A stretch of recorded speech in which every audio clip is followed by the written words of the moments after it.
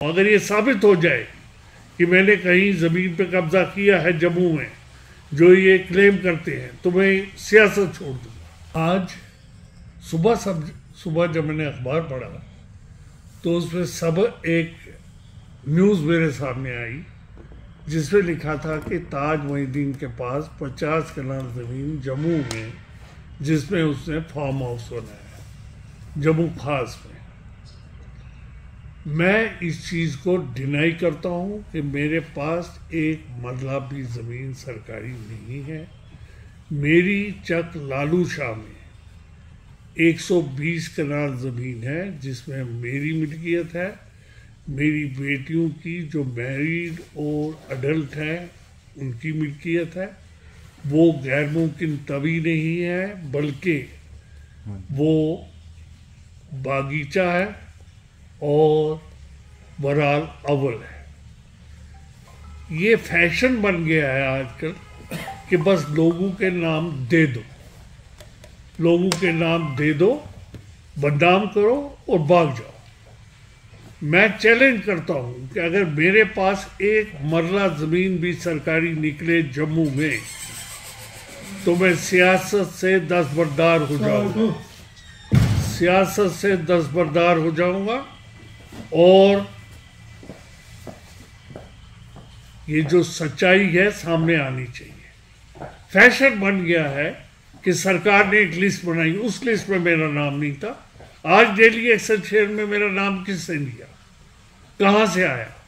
मैं इसे डिनाई करता हूँ और कहता हूँ कि ये चीज़ जो है गलत है, बेबुनियाद है। मेरे पास अपनी मिल्कियती ज़मीन 120 करार है, जिसमें मेरी मैरिड डॉटर्स मैं और मेरी तीन बालिग डॉटर्स जो हैं मैरिड वो शामिल हैं। और उसी में मेरा मकान बना हुआ है। एक इंच ज़मीन उस गाँव में, एक इंच ज़मीन भी सरकारी नहीं है। भाई साहब, क्या ये सही फैसला है? जिनके पास सरकारी ज़मीन है, चाहे घास चराई की बात करें या रोशनी लैंड के हवाले से बात करें, क्योंकि अब वो वापस लिया जाएगा। किस नज़र से आप इसको देखिए घास चराई गाँव वालों का हक नहीं है, वो जानवरों का हक और किसी हालत में भी घास चराई ज़मीन पर कब्जा करना जुर्म है, क्योंकि वो मवेशियों का हक है, वो कैटल का हक है। हाँ अगर किसी के पास कोई ज़मीन इसके लिए सारा रेवेन्यू एक्ट पढ़ना पड़ेगा। इसमें शामलात दफ़ा पाँच भी हैं, जो कामले फरोख्त है। शामलात दफ़ा चार भी हैं, जो चराइए हैं, जिनके साथ आप टच नहीं कर सकते। और रोशी एक्ट में भी घास चराई पे कोई हक नहीं दिया गया था। लोग कहानियाँ बनाते हैं। आपको पता है कि कितने लोगों ने रोशी एक्ट में ये भरा फॉर्म भरा और जिन्होंने मिला?